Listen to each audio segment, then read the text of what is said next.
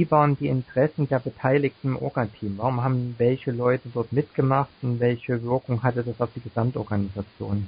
Also dazu muss man sagen, dass das Isanet-Team ja die gesamte Webwoche organisiert hat und da waren innerhalb dieser Webwoche einige weitere Großveranstaltungen, die von diesem gesamten Orga-Team organisiert wurden, unter anderem der Rathausempfang, die Verleihung der Startup Awards, wo eine Jury gefunden wurde und, und, und. Es waren äh, eine ganze Reihe von Veranstaltungen. Das ISA-Camp war nur ein Teilveranstaltung des größeren ISA-Netz-Teams. Also da waren natürlich dann äh, Leute wie der Professor Groß, ähm, der die Idee mit dem ISA-Camp äh, vorangetrieben hat, der aber auch sich um die Gesamtkonzeption der gesamten Woche kümmern musste und damit nicht nur das ISA-Camp äh, unter sich hatte. Und andere, die dann gesagt haben, naja, äh, ISA-Camp, das ist so eine basisdemokratische Sache. Ich kümmere mich lieber um die, um die wirklich wichtigen Dinge, wie den Rathausempfang, wenn man von der Stadt eingeladen wird oder so, die dann gar nichts mit dem Camp am Hut haben und sich dann aus der Orga da komplett ausgeklinkt haben.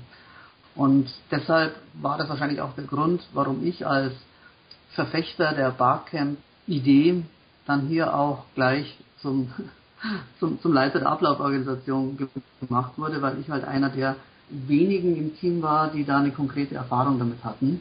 Wobei die konkrete Erfahrung habe ich mir dann erst von anderen Barcamp-Organisatoren in Form von Checklisten geholt. Also äh, so gesehen war da oftmals eher Skepsis, äh, eher dann der Versuch, Sachen zu planen und zu organisieren. Also eine der Themen, die wir mal verdeutlichen.